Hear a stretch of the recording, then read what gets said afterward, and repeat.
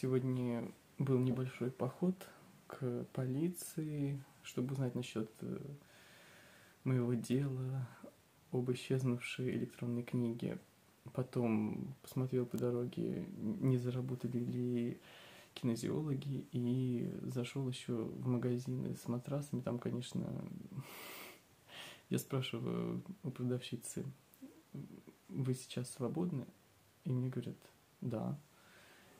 И, а я смотрю, ходят с какими-то кроватями, там работники, еще человек зашел, и потом продавщица говорит, можете подождать? А, она так культурно, подождите, пожалуйста. Но я уже и до этого ждал. И я просто зашел в соседний магазин, который прям большой, и там так очень хорошо со мной общались. Единственное, что я опять подумал, что я себе не позволю ничего купить, и вернулся опять в этот магазин с теми же вопросами, а там фигурирует слово... Я не могу его сказать. Ладно, скажу. Там фигурирует слово пупырышки. А как это еще назвать? И э, в большом магазине, в соседнем, э, все нормально, ну, пупырышки, пупырышки, есть там такое, есть такое, там... У просто была какая-то идея для нового эксперимента. И, ну, конечно, люди не знают, как на это реагировать, а вот тут я вернулся в этот магазин и э, как начал со своими пупырышками, и мне говорят, вы можете нормально объяснить, э, что за детский сад? И а, из-за того, что я еще на тот момент не позанимался, я подумал, что я сейчас не хочу тратить а, нервы и, и время тоже. И, как это сказать, я не хотел встать в свою э, излюбленную ущербную позу. Это когда э, люди, ну так, э, немного могут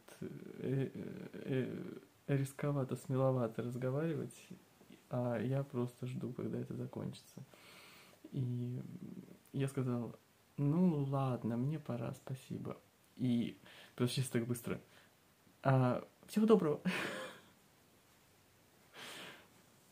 Ну, в общем, это что-то типа маленького конфликта, но очень маленького. Но все равно как-то не очень. Особенно если сравнить два магазина, вот как люди могут работать по-разному. Потом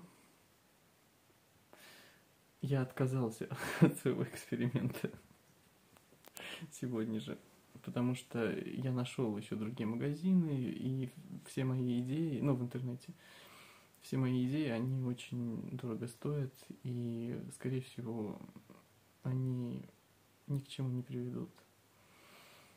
А потом, ладно, сейчас расскажу еще фильм, посмотрел вот прямо сейчас, пока ел там и готовился ко сну.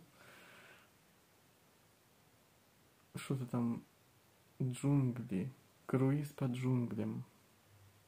И, ну, мне вообще как бы понравилось. Так все как-то э, хорошие сюжеты. Я думаю, что перед сном как раз такой фильм хорошо смотреть, потому что будет, будет легко заснуть. Я не знаю, почему мне так кажется. Но в музыке чуть-чуть там вот под титры я услышал что-то такое вот непрезентабельная слегка.